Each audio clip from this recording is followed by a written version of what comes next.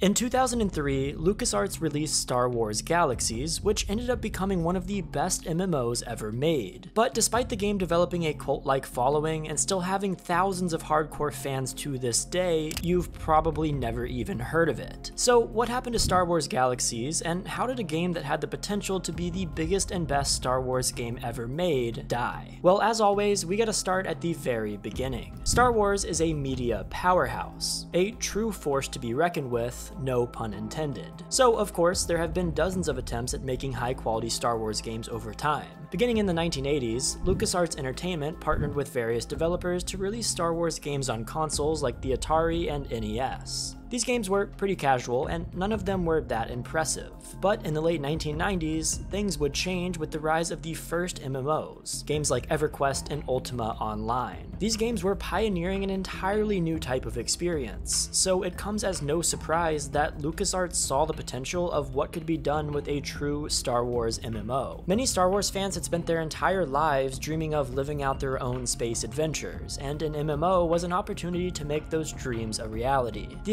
executives at LucasArts realized that they had the money, fanbase, and setting to make something truly great. However, they also knew that they couldn't accomplish their goals alone. The project that they had in mind was far beyond any game they've made so far. They reached out to Sony Online Entertainment, or SOE, a studio involved with the development of EverQuest, for development assistance. SOE agreed to join the project and a powerful partnership was formed. So, in 2000, LucasArts announced the upcoming release of their new game, Star Wars Galaxies, and stated that the game would be ready in a mere one year. Players were, of course, hyped. Many factors drove the excitement for the project the anticipation of the new MMO genre, the promise of a short wait for the full release of the game, and the pre existing love of the Star Wars universe. Players knew that in a matter of months, they'd be flying through the galaxy, having lightsaber battles, and living out adventures they dreamed of since they were kids. I mean, how could they not be excited. It seemed like the perfect game. But beneath the surface, while development was going on, things weren't as good as they seemed. The development cycle itself was rocky, painful, and slow. Features were getting scrapped left and right, and developers were slogging through 15 hour crunch days as the project fell more and more behind schedule. Working conditions weren't great, but there were also some fundamental design issues that were causing things to take longer than expected. Remember, these were the early days of MMOs, and the formula required to make a lasting one was something that many developers still didn't understand. They had a vision, but accomplishing that vision was going to be harder than it looked. The sprawling sandbox design that they were trying to make intended to empower players with limitless freedom, but quickly became a logistical nightmare to balance and maintain. The complex crafting and economic systems designed to simulate a living, breathing Star Wars galaxy were prone to exploitation and instability, and often needed to be redesigned. And the focus on non-combat professions and social interaction while innovative, alienated players seeking a more traditional MMO experience centered around combat and progression. Leveraging the immense popularity of the Star Wars universe should have been a recipe for success for LucasArts and SOE, but the weight of the franchise's legacy proved to be a double-edged sword. Lucasfilm, fiercely protective of their intellectual property, exercised tight control over the game's narrative and design, rejecting any elements that deviated from the established lore or potentially misrepresented beloved characters. Navigating the vast Star Wars universe with its intricate timeline and interconnected storylines posed an additional challenge. The choice of setting alone was a major factor that the studio had to consider. Placing the game after the original trilogy risked contradicting future Star Wars projects or undermining the established ending. Setting it during the events of the films would inherently limit player freedom and narrative possibilities as key events and characters couldn't be altered. Ultimately, they decided that the setting should take place directly after the events of Episode 4, A New Hope. And this decision had major ramifications for the development team and began a conflict with the higher ups that would last for the entirety of the game's life and ultimately be a contributing factor to its downfall. The issue involves the Jedi, or lack thereof. During the original trilogy, Jedi are rare, mostly forgotten, and dying out, so any game set during this time period shouldn't have very many Jedi running around. It just wouldn't make any sense. Yet the reality is that when people buy a Star Wars video game, they want to have a lightsaber, use the Force, and have fun space battles. Otherwise, what's the point? So to combat this problem, the team had a creative solution. They decided on a system in which every player would have to complete a randomized list of five activities in order to unlock the Force hours. These would be unique and unknown to each player, and the idea was that the players would focus on getting invested in the world and then naturally awaken the Force. On one hand, this was a super cool concept. The Jedi are supposed to feel mysterious and spiritual, and this mechanic mirrored that sentiment. However, from a marketing and gameplay perspective, this was a frustrating idea for the dev team to work around. MMOs are often pitched as a chance to be the hero in your own story, but this mechanic would guarantee that the vast majority of people would be mere background characters.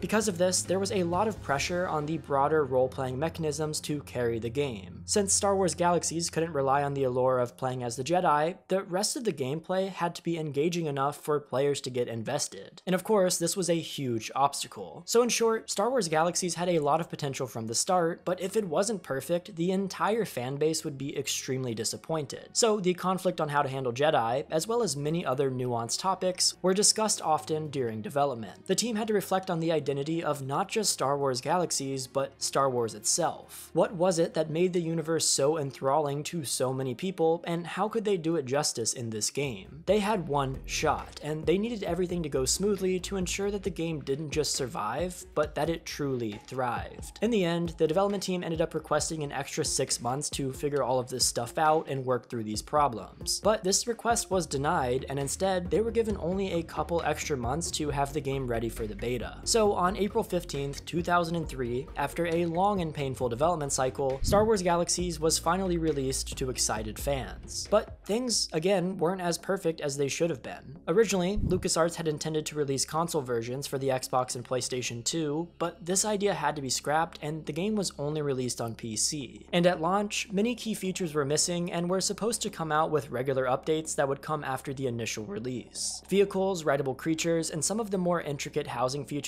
weren't presented upon release, and the game was also incredibly buggy. And somehow, despite all of these issues, Star Wars Galaxies was surprisingly good. It offered complex crafting, a variety of roles for players to take up, and many avenues for role-playing. Rather than just having solid classes, players had many skills and could freely spend skill points in a variety of professions. The game was designed so that players would naturally rely on each other and affected each other's gameplay. If you wanted to heal from a serious injury, you needed the help of a medic. If you wanted food to give you buffs, you needed a chef. If you wanted a new gun, it was easiest to buy it from another player. Having so many in-game roles, filled by players rather than NPCs, encouraged people to form their own communities, and the game instantly came alive unlike any other MMOs that were on the market. It was a game that allowed players to really feel like they were living and contributing in a growing independent community. What the devs were trying to accomplish was something pretty different from the typical MMO experience. No, most players wouldn't become powerful Jedi and fight in crazy battles, but they were still able to feel important and like they impacted the world through their relations with other players. The people who were open to an experience centered on role-playing and making their own fun, rather than a linear handcrafted experience, were treated to an amazing game, and Star Wars Galaxies was truly awesome. It seemed as if the developers had absolutely nailed it, and that this game would be the biggest thing of the early 2000s. And things only got better in the initial months after launch. One of the most exciting moments in Star Wars Galaxies' history occurred four months after its launch, when on November 7th, someone was finally able to awaken the Force and become a Jedi, the first in the entire game. This player released a guide of every action that they took so that others could try to gain access to the Force as well, and it was a super exciting time for the community. Before this, players had little understanding of how the Force worked and how to pursue it. But now, with a new hope for the future of the game, tons of new players immersed themselves in their guilds and professions and committed themselves to this game for the long run. There was a mystique and secrecy surrounding the Force that made it far more compelling than a typical power-up in an MMO, and many players loved it. And by the end of its first year, Star Wars Galaxies seemed to have a bright future. It was a unique experience that truly stood out from other MMOs. It had one of the most engaged and dedicated communities of role players in any game available, and it still had room to improve and grow.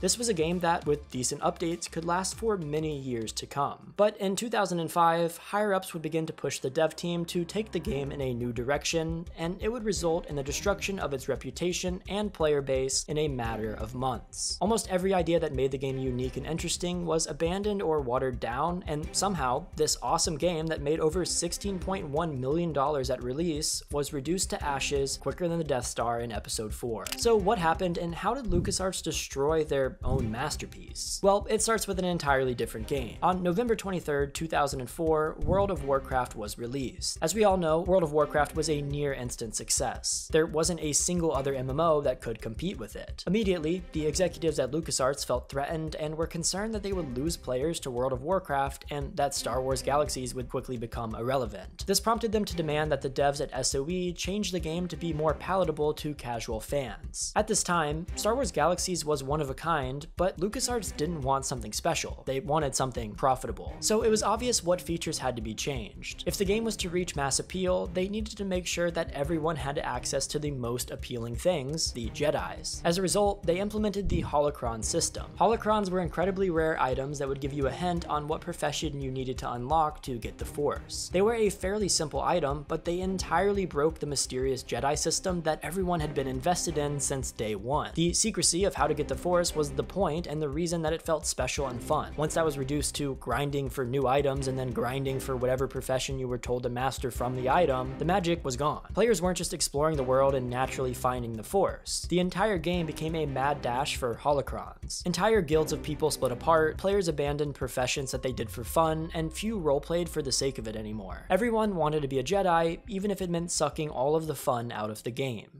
This was already really bad, but Star Wars Galaxies took another hit on April 27, 2005 when the combat upgrade was released. The combat update wasn't a bad idea in concept because the combat in Star Wars Galaxies had been broken for years. In fact, there were rumors that SOE was privately testing a revamped combat system that a few veteran players had enjoyed. However, that revamped system was abandoned for a far more simplified version clearly meant to copy World of Warcraft. The intention was that this new system would be more balanced and approachable for for new players. However, players hated it. Firstly, they resented the change to a completely different playstyle. These people originally played Star Wars Galaxies because they wanted to play Star Wars Galaxies, not a worse version of World of Warcraft. Secondly, many weapons were taken out of the game or changed. The game automatically converted players' old weapons and armor to fit the new system, but oftentimes these changes weren't fair and left players with gear that felt far worse than what they started with. This was a slap in the face to veteran players who essentially watched hours of progress and work go up in smoke all in service of a mediocre combat system meant to cater to casuals at the expense of loyal, older fans. It seems as if LucasArts did a lot of things that were a slap in the face to their most hardcore fans while trying to pander to casual players that would like a game like World of Warcraft. These changes certainly caused a level of broken trust and hostility from hardcore players towards LucasArts, and some players dropped the game entirely. However, the new combat system did succeed in making the game more palatable to newer players, and many new people started playing the game. I mean, even some older players grew to appreciate some of the improvements and stuck with it. So it appeared that Star Wars Galaxies had made several missteps, but there was still room to salvage the situation. But well, LucasArts ruined that pretty quickly. Back in 2003, November represented a peak for Star Wars Galaxies, but in 2005, it represented rock bottom. On November 15th, the new game enhancements update was released. This patch was essentially the devs entirely surrendering to pressures to copy World of Warcraft. The skill and profession system was simplified into a basic class system. The flexibility and customization of the old one were gone. Even more insulting, becoming a Jedi had just become a class. To awaken the Force, you didn't need to explore, immerse yourself in the world, or even collect the holocrons that we mentioned before, you just needed to select the right class. The complicated crafting system was also simplified. Pretty much everything that made Star Wars Galaxies unique was instantly scrapped. The sandbox, role-playing focused gameplay was morphed into a far more basic loot, kill, level up progression system. Veteran players hated this change and began unsubscribing in mass. They felt frustrated and betrayed. Not only had the game completely changed and yet again erased all of their progress and effort, but it just wasn't fun anymore.